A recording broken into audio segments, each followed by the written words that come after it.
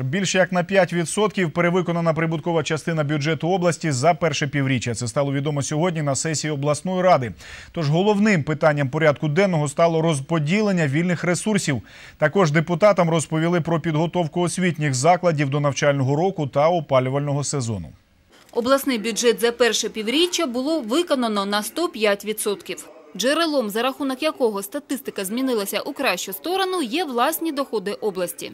Несмотря на неблагоприятные рыночные условия, причем эти рыночные условия и имеют и мира- мировой тренд, и европейский тренд, э, Днепропетровская область удерживает лидерские позиции по многим направлениям социально-экономического развития, э, в том числе по промышленному производству. Також регіон має додаткові ресурси з держбюджету.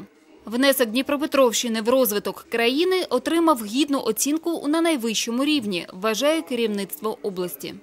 Області додатково виділено з державного бюджету субвенцію на здійснення заходів соціально-економічного розвитку в обсязі 36 мільйонів гривень.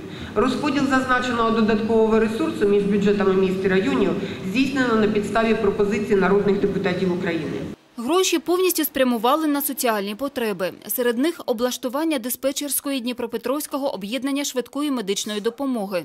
На 11 мільйонів гривень профінансували об'єкти соціального будівництва, такі як парк ракет та Троїцький собор у Новомосковську. Також депутати схвалили підготовку освітніх закладів до нового навчального року. На це було витрачено понад 114 мільйонів гривень. Але не тільки з бюджету області, а й з інших джерел фінансування.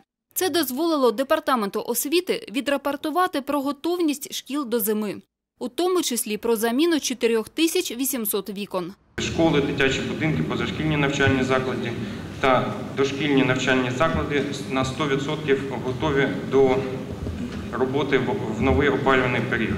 Ще одне важливе рішення обласної ради – створення нового об'єкту природно-заповідного фонду.